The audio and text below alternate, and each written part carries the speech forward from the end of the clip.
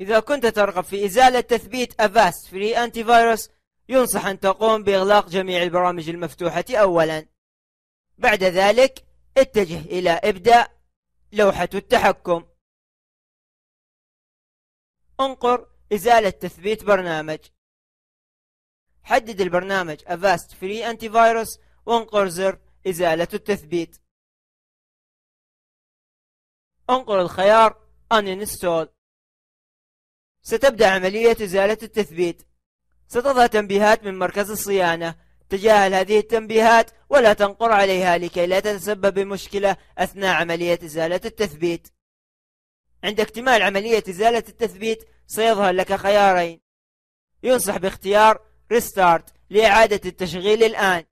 إذا كنت لا ترغب بذلك يمكنك اختيار إعادة التشغيل لاحقا. ريستارت later انقر زر إنهاء. Finish